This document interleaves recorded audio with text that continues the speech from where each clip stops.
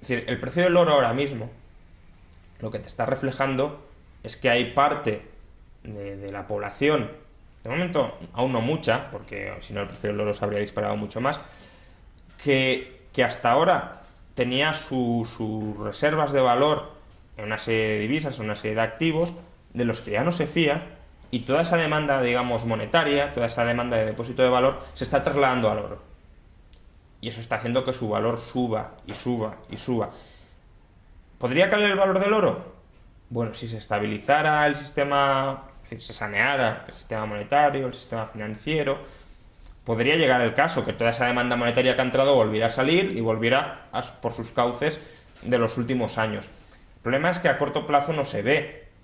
Eh, y a corto plazo no hay ninguna perspectiva de que se solucione la crisis de deuda, al menos de una manera clara, ni de que los estados dejen de inflar sus divisas, ni de que se vuelva una expansión crediticia del sector privado, que ahí el oro sí podría caer como cayó en los 80, ¿no? porque las acciones, como entraba el crédito, o, los bonos, como entraba el crédito barato, pues subían mucho más, con lo cual a, a medio plazo era más rentable estar en esos activos que en oro. Pero ahora mismo todo eso no se ve, con lo cual quien quiere tener una reserva de valor no sabe dónde ir. O sea que el oro no está en una burbuja, por lo que estás diciendo. Es que no se puede hablar de burbuja en el caso del oro. Es decir, ¿tú cómo defines una burbuja? Una burbuja es, pues, eh, el precio actual de un activo es muy superior a todos sus rendimientos futuros. Con lo cual pagas 1000 para recibir 500. Obviamente es una burbuja. ¿Por qué? Porque de ahí solo puedes ganar esperando que venga otro primo, otro, otro perdedor, digamos, que te compre tu activo más caro, aunque no vaya a recuperar ese dinero. En el caso del oro, el oro no tiene un rendimiento eh, eh, productivo, digamos, no es un activo productivo. Entonces tú no puedes decir, no, la producción futura del oro será X y por tanto lo comparo con el precio actual. No, esa operación no tiene sentido.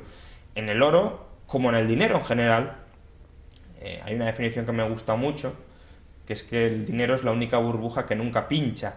¿Por qué? Porque todas las funciones del dinero las puede cumplir sea cual sea su valor. Por tanto, todo valor del dinero puede ser estable. Puede ser estable si tú lo tienes de alguna manera estabilizado.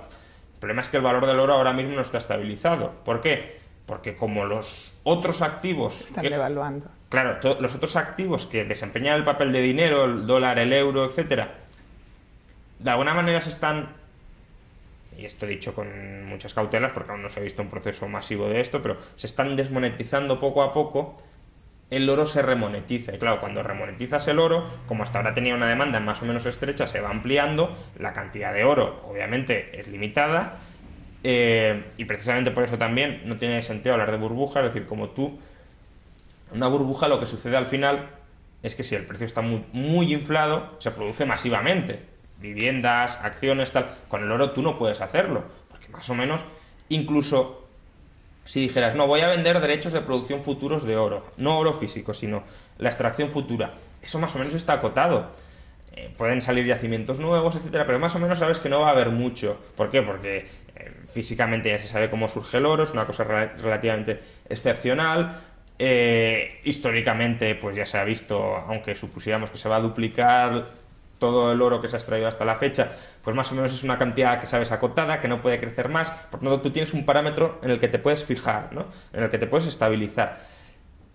El problema es que lo que está desestabilizado, lo que está fluctuando, lo que está cambiando tanto, es la demanda monetaria del resto de activos, y eso hace que su precio obviamente fluctúe con respecto al del oro. Eh, justamente las personas que dicen que el precio del oro está en una burbuja, cuando, les, cuando hablan del patrón oro, siempre aducen que no hay suficiente oro para respaldar la economía actualmente. Yo supongo que es una cuestión de precio, no de cantidad, ¿verdad? Efectivamente, es decir, eh, lo que no hay es suficiente oro para mantener los precios actuales y respaldar, eh, pues, volver a la paridad antigua, por ejemplo. Eso no, no se puede. Tú puedes volver a la paridad antigua asumiendo una deflación muy grande, ¿A la paridad antigua te refieres? Sí, es decir, destruyendo un montón de dinero, de dinero fiduciario, y decir, bueno, pues el que queda lo respaldo por tal, y obviamente sufres una, una deflación de precios muy grande, que yo creo que eso no, no es viable, porque no tenemos un sistema suficientemente flexible, además acarrearía quiebras masivas y demás.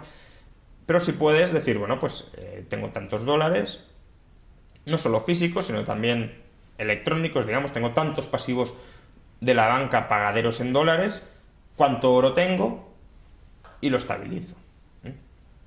Eso obviamente, ¿qué sucedería? Que el precio del oro pues iría a 80.000 dólares la onza, por ejemplo.